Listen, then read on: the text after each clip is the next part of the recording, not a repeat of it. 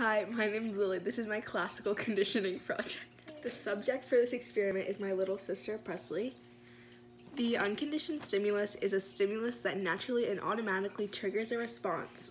for this experiment, the unconditioned stimulus is getting hit with a ball.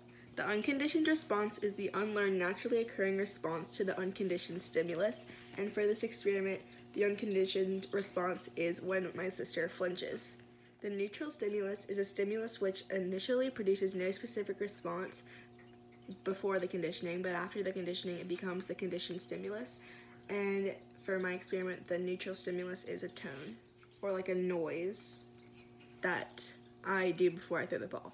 The conditioned stimulus is an originally irrelevant stimulus that becomes associated with unconditioned stimulus, which triggers a conditioned response. The conditioned stimulus for this experiment is the tone that is now associated with the unconditioned stimulus, which is getting hit by a ball. And lastly is the conditioned response, which is the learned response to a previously neutral stimulus. And for this experiment, the conditioned response is to flinch when she hears the tone. And that's even if I don't throw the ball. so eventually, when I play the tone and throw the ball multiple times, Presley will flinch even if she hears the tone without me throwing the ball.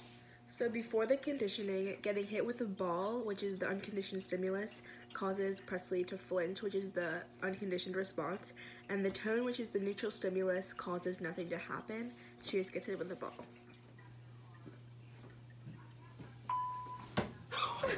so now this is during the conditioning, and the tone, which is the neutral stimulus, and getting hit by a ball is the unconditioned stimulus are paired, resulting in a flinch, which is the unconditioned response, and this uh, process is repeated a number of times. Professional resume. You're younger and have less experience. Stop!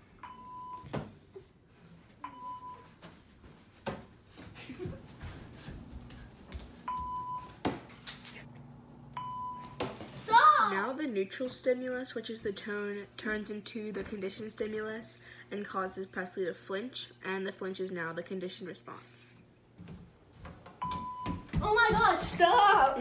she got used to the tone um, being paired with getting hit with a ball. Um, her brain automatically triggered like a response so that she would flinch when she heard the tone, and that's because of classical conditioning.